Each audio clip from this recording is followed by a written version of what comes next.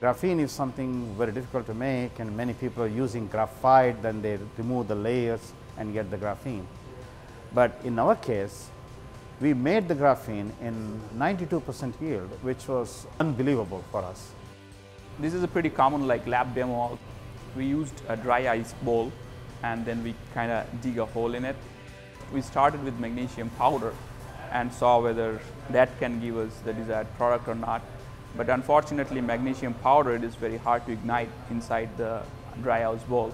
So what we then started doing is we put the magnesium strips instead of the powder and we found that the magnesium strips can burn pretty fast. Then we basically covered the strips with another dry ice like slab and uh, we did the experiment there and then what we get is uh, some white powder with some black powder. The white powder is basically magnesium oxide which is uh, not soluble in water or anything, so does carbon. But when we treat this whole mixture with HCl or hydrochloric acid, this magnesium oxide forms magnesium chloride which is soluble in water.